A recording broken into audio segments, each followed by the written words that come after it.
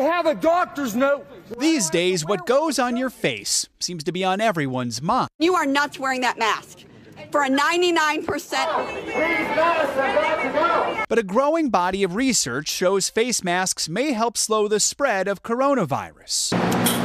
At the University of Illinois, scientists use a device that generates high velocity droplets similar to the breath coming out of someone with COVID 19, to test how various household fabrics perform as masks. They found two layers and three layers of t shirt fabric are highly effective at blocking droplets when you cough, sneeze, or talk. We don't have to rely on masks being made from a company or a factory from another country. Uh, we all have it at our home. It shows that the masks that you need are accessible. We all have a shirt, we all have a t shirt.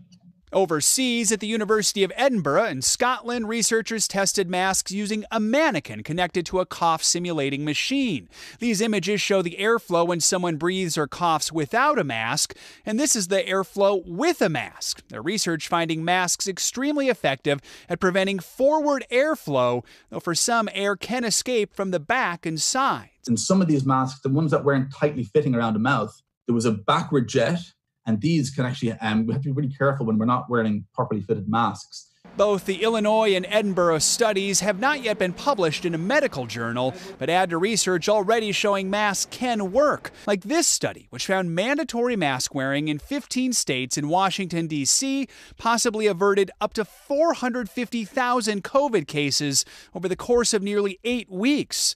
Experts say one thing is clear. What's your message to folks out there regarding masks? Wear masks, even if they're handmade, they have a significant impact on the potential spread of COVID. Advice from those trying to uncover the science behind the mask. Joe Fryer, NBC News.